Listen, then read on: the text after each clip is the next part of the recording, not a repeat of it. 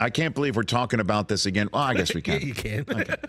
Uh, uh, Draymond Green got ejected uh, from a basketball game again What? uh, last night for uh, because he couldn't uh, control his hands.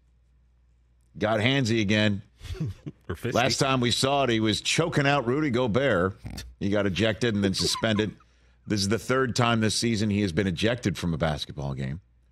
And, um, you know, the final score, you'd think that maybe he might have made up the difference. I don't know. Who knows? I mean, Devin Booker was just shooting lights out towards the end of the game last night. Show was. Um, and the Phoenix Suns defeat the Golden State Warriors without Kevin Durant.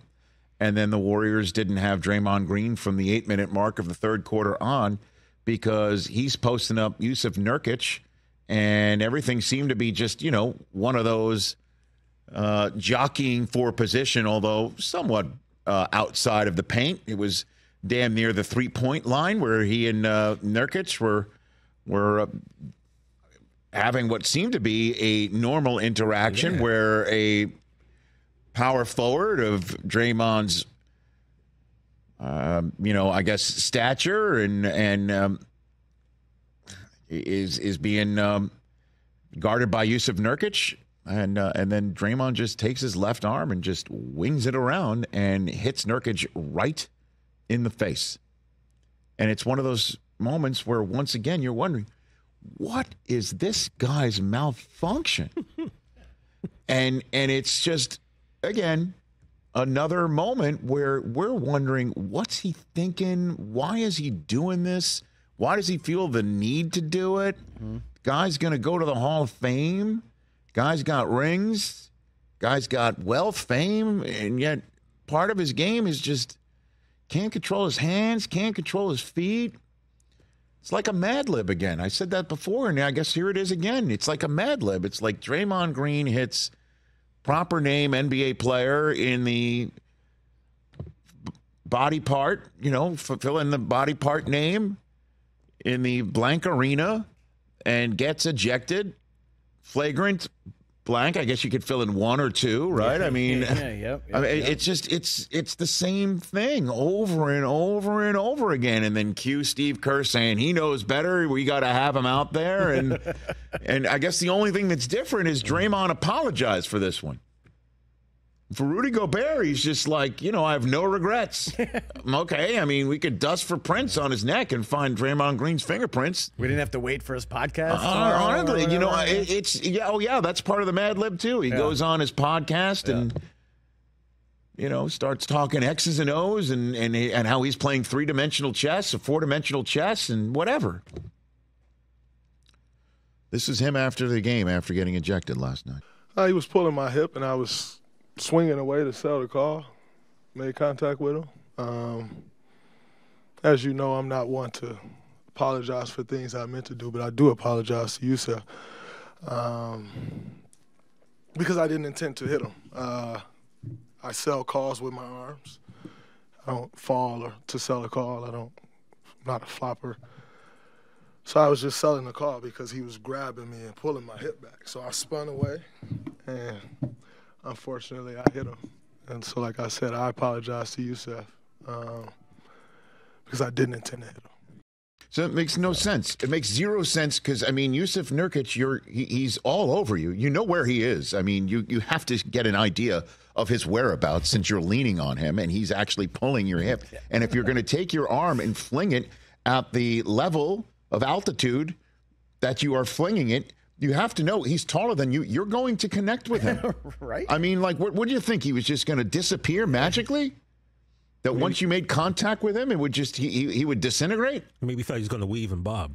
yeah, he's gonna he's gonna be. Uh, honestly, Muhammad I, Ali, I, I honestly don't. That, that makes no sense. Nor does the on. fact, like, oh, How do you pull if I someone's meant to hit him, then I wouldn't apologize. Right, Oh, yeah. oh, what? That's what I heard too. I was just like, so if I had meant to hit That's him, what I meant. To, I heard. I heard. That. and so proof of the fact I didn't mean to hit him is is is that I'm apologizing, and it's like what? Like honestly, if my when he was or she was five year old said this to Susie and I, we'd be like, hold on a minute, sit down. We need to explain to you the way the world works here.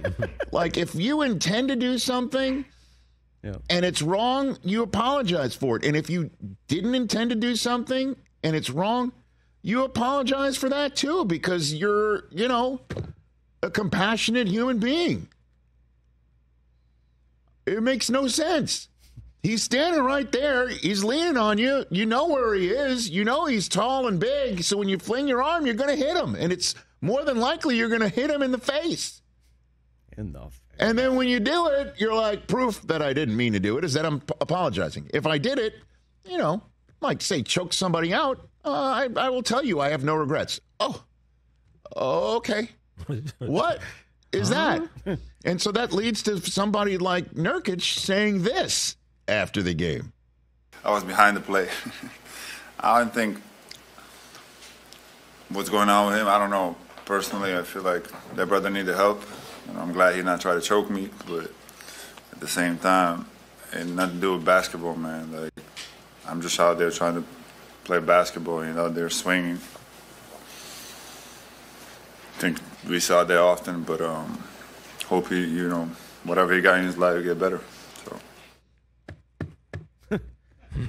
man. I mean, whatever he's got in his life, get better. And and I, you know, I, I don't know this guy. I don't. I just cover him, or we've covered. eh, You know, we talk about him and the NBA every single day, and Yeah. you know, we're in our tenth year here. So in the last ten years, a lot of talking about Draymond Green of winning championships and then being suspended in an NBA Finals game because he, you know, hits LeBron in his King James, and then, you know, and then we see what happened just last playoffs with Sabonis, and then we saw what happened this regular season with Gobert, and now this with Nurkic, and then you go on your X feed, Twitter feed, or whatever, and you see this now montage of all of the moments where he can't control his feet or his hands. And then he shows up on Turner. Turner has him on all the time because he's incredibly talented, and he's gonna be a he's gonna be a an announcer once he's done. I think. I think he'll be a, an analyst if that's what he wants to do. I don't know him, so here I am saying, you know, what is the matter? What?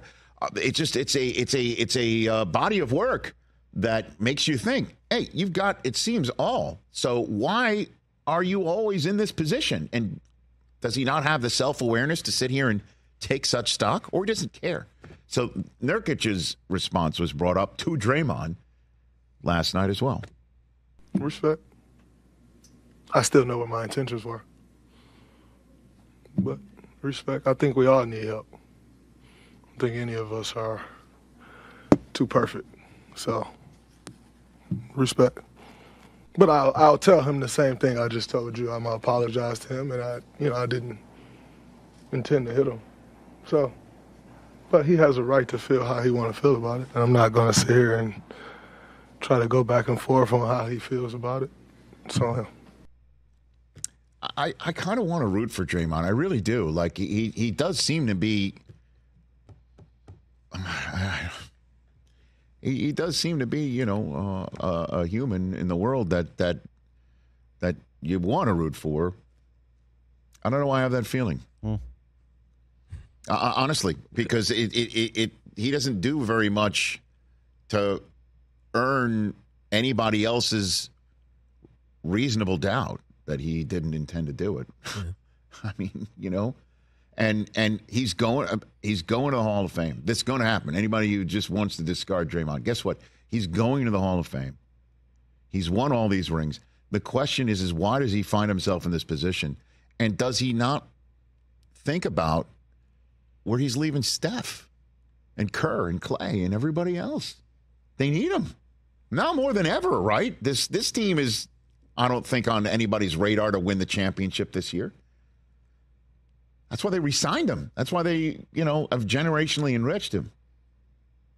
Kind of funny these two all-time greats, Patrick Mahomes and Steph Curry, are just kind of being let down by their teammates in a way. Pat, uh, you know, the Chiefs on the field, the wide receivers, and and Draymond on the court just with his antics. or, or with his lack of availability. That's that's the phrase you hear all the time. Your best ability is your availability. You know, and um, and he's not going to be available again for this team. So catch the Rich Eisen show every single day on the Roku channel, twelve to three Eastern, for free.